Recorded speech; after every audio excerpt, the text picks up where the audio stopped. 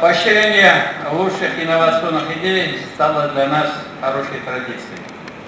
За 13 лет конкурс превратился в одно из значимых республиканских событий в сфере инноваций.